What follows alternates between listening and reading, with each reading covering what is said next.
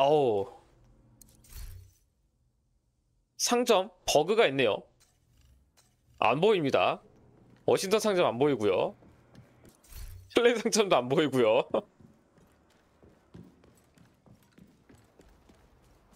아니 이럴 거면은 그냥 연장하고서 제 시간에 오픈을 해. 와 상점 다 파업이야.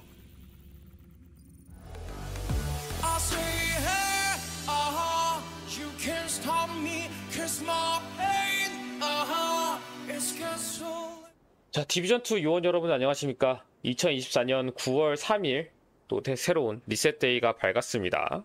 이번 주에는 어떤 소식이 있는지 알아보도록 하겠습니다. 자, 먼저 프로젝트입니다. 이번 주 주간 프로젝트는 뉴욕 남부가 되겠네요. 그래서 뉴욕 남부에서 플레이를 하시면 되는데, 아, 이것도 버그군요. 보상이 표시가 안 되는 버그가 또 보여지고 있습니다. 한평생이 지난 후 자, 이번 주 주간 프로젝트는 뉴욕 남부고요. 주간 전설은 국회의사당이 되겠고요. 주간 SHD 징발, 주간 최정상 프로젝트 해주시면 될 것 같습니다. 어, 표시도 원래대로 잘 되고 있네요. 그 다음에 분쟁, 이번 주 주간 PVP는 분쟁이 되겠습니다. 자, 이번 주 주간 침입입니다. 이번 주 주간 침입은 연방비상방공호, 포토맨 이벤센터, 질병통제본부 이렇게 세 가지 미션이 되겠고요. 주간 요새는 어, 이번 주 주간 요새는 루즈벨트 아일랜드가 되겠네요. 어, 원래 지금 표시가 안 돼 있다가 어, 표시를 하게끔 보였는데 이거 하는 방법은 미션을 클릭하시고 G키를 꾹 누르시면은 임무 모드 변환이라는 게 있습니다. 임무 모드 전환을 통해 가지고 어떤 임무를 할 건지 이렇게 바꿔서 하실 수가 있습니다. 자, 이번 주 시즌 이벤트입니다. 이번 주 시즌은 닉스 추격전이 시작이 되었네요. 어, 추격전 바로 들어가셔서 해당 추격전 내용 보시면 될 것 같고요. 어, 닉스 추격전 같은 경우는 23번가 북서쪽, 웨스트엔드 23번가 북서쪽이고 어, 위치는 웨스트엔드 23번가 북서쪽 어, 여기에서 아마 통제 지점이나 표시가 됐는데, 아, 현상 수배로 시작을 하네요? 근데 현상 수배로 시작을 하네요. 과부의 비애라고. 여기부터 추격전이 시작이 되겠습니다. 자, 이번 주 워싱턴 상점입니다. 어, 이번 주 워싱턴 상점에서는 무정부주의자의 비결 판매하고 있고요. 위대한 혈통 판매하고 있습니다. 요 두 가지 어, named 아이템 혹시 숙달이 안 되어 있으시다면은 아이템을 구매하셔서 기부하시면은 좋을 것 같습니다. 이외에 특별한 거는 따로 보이진 않고요. 어, 클랜 상점 돌아왔네요. 이번 주 클랜 상점에서는 실험체 판매하고 있습니다. 완벽한 동기화가 달려있는 돌격수총인데 어, 스킬 빌드에 꽤 괜찮은 어, 돌소입니다. 축전기가 없으시다면은 대신해서 쓰시는 것도 좋을 것 같고요.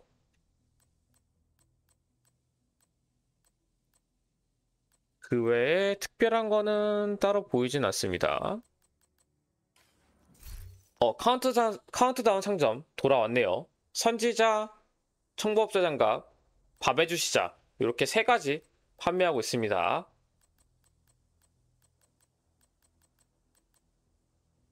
어, 극장 상점입니다. 이번 주 극장 상점은 스킬 데미지가 있는 청부업자 장갑 팔고 있습니다. 어, 요거 굉장히 중요하네요.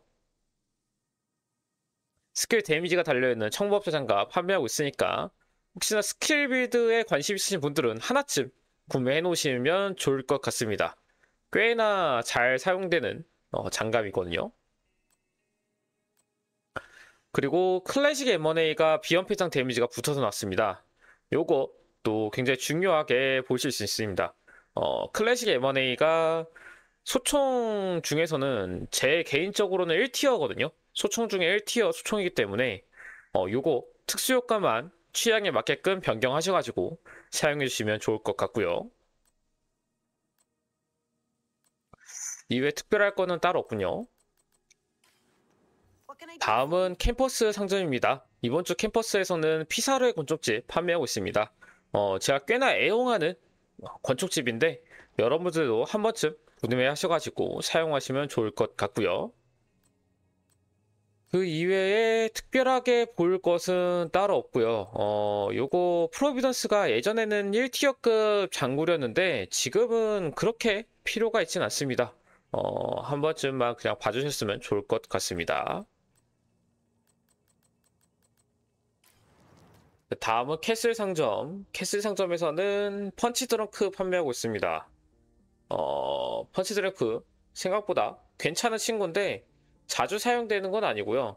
어, speedrun 같은 build에 어, 사용되는 그런 장비가 되겠습니다. 그리고 M700 카본이 비연필당 데미지가 붙어서 나왔네요. 이것도 SR1이 없으시다면 한 번쯤 사용해 보시는 거 추천드립니다. 꽤 괜찮은 친구거든요. 이것도 특수효과만 변경을 하시고서 나머지들은 최적화 하셔가지고 사용하시면 좋을 것 같습니다. 이외에 특별한 건 없군요. 자, 이번 주 동부 다크존 상점입니다. 어둠 판매하고 있네요. 어둠 판매하고 있고, 그 이외에는 특별한 거는 판매하고 있지 않은데, 지금 어둠도 그렇게 잘 쓰이는 총은 아닙니다. 어, 없으시다면 하나쯤 구매하시는 건 나쁘지 않은데, 숙달용으로, 숙달용으로 구매하시는 건 나쁘진 않은데, 어, 굳이 다크존까지 오셔서 구매하실 필요는 없을 것 같고요. 그러면은 특별한 건 없으니까 다른 곳으로 이동해 보도록 하죠. 네, 남부 다크존에서는 은총 판매하고 있네요. 근데 속성이 조금 아쉽습니다. 상태 이상 저항과 스킬 데미지가 있어가지고 어, 화기 빌드에는 쓰기 좀 어려운 그런 속성으로 붙어서 나왔네요. 이외에는 따로 특별한 거는 보이지 않고요. 자, 서부 다크존입니다. 서부 다크존에서는 덧거리 판매하고 있습니다. 그리고 다른 것들은 특별하게 볼 건 없고요. 덧거리도 굳이 다크존까지 오셔서 구매하실 거는 없을 것으로 보입니다. 자, 이번 주 마라코 시라쿠사 상점입니다. 어, 여기도 특별하게 볼 거는 딱히 없고요. 음, 그나마 볼 만한 거는 없네요. 없군요. 딱히 볼 건 없습니다. 그, 여러분 특수효과 한번 보시면서 혹시나 라이브러리에 등록이 안 돼 있는 특수효과가 있다면은 요 구매하셔가지고 라이브러리 등록용으로 보시는 거 좋을 것 같습니다. 자, 마지막으로 로이 베니테즈 상점입니다. 어, 여기도 특별하게 named는 없고요. 어, 역시나 속성이나 이런 거 특수효과 보시고 어, 라이브러리 기, 라이브러리 등록용 혹은 숙달용 기부 구매용으로 보시면 좋을 것 같고요. 어, 그루포가 하나 폭발물 저항의 스킬 데미지가 붙어 나왔네요. 요거는 이제 PVP에 어, 폭발물 저항 포격 세팅에 어, 한 번쯤 사용해 볼 법 할 것 같습니다. 어, 요거는 조금 build를 한번 build 짜는데 좀 어려울 것 같긴 하지만 어, PVP에 관심 있으신 분들은 한 번쯤 봐주시면 좋을 것 같네요. 이번 주 의류에서 어, bundle을 판매하고 있는데 아론 키너 번들 판매하고 있네요. 후드를 쓴 것, 후드를 벗은 것 이렇게 판매하고 있고 어, 의류 장갑이네요. 아론 키너 장갑을 따로 판매하고 있고 무기 skin으로 이렇게 생긴 무기 스킨 어, 판매하고 있습니다. 혹시 관심 있으신 분들은 어, 의류 한번 봐주시면 좋을 것 같고요. 어, 아론 키너 유니폼이 제가 이미 있거든요? 이거랑 다른 유니폼인가? 요거는 왜냐면 이 아론 키너 유니폼 같은 경우도 예전에 번들로 판매를 했었거든요. 제가 이거를 구매를 했었어요. 네, 지금 의류 상점에서 또 번들로 판매를 하고 있는데 아, 상의가 좀 다른가? 잠깐만요. 이- 아, 야, 차. 살펴보게 하면 좀 버텨줘. 얘가 상의가 약간 안에가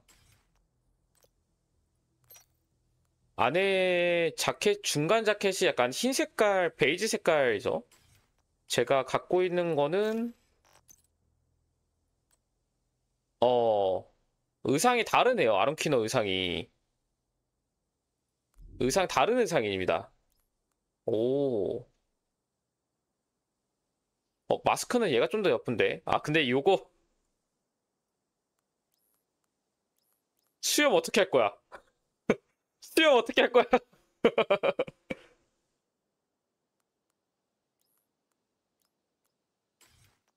음.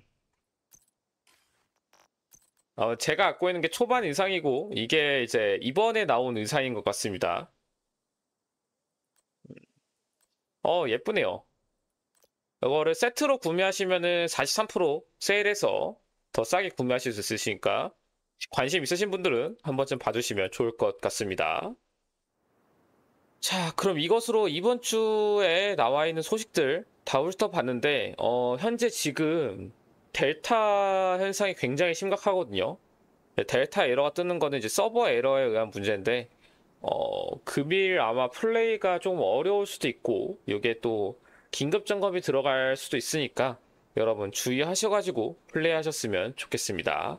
그럼 이것으로 한 주간의 소식은 모두 마치도록 하겠습니다. 감사합니다.